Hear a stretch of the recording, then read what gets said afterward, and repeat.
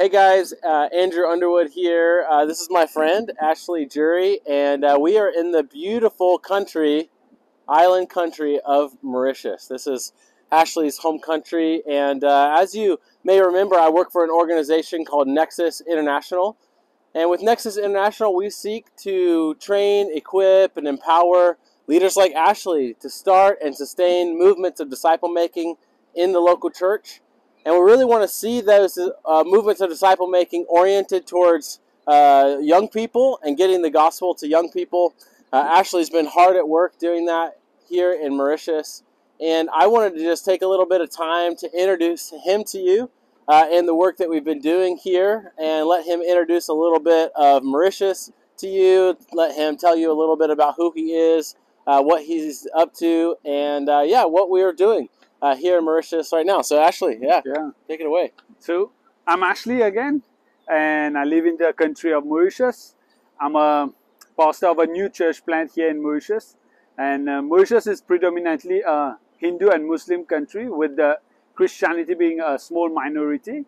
And we do have churches here, but what's happening with Prosperity Gospel, we we lack uh, healthy churches. We have many churches, but very few of them are healthy churches. And we are trying to plant new churches where it's uh, gospel oriented and it's uh, oriented towards the youth and equipping the youth and discipling the youth. And I'm very grateful to, to, to God for the way that He has connected me with Nexus. It's only Him, it's only His work that He brought Nexus to me. And I'm really grateful to Andrew also for the work that he has been doing with me, equipping me every week. We would be on Zoom calls and, and, and just like the way he's teaching me, equipping me, coaching me.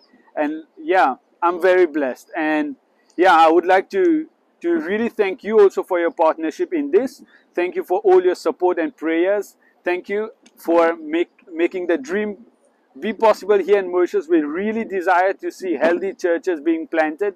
We really desire to see youth ministries flourish from those healthy churches and impact uh, youth, uh, our youth here, and just start a, a discipleship making movement here.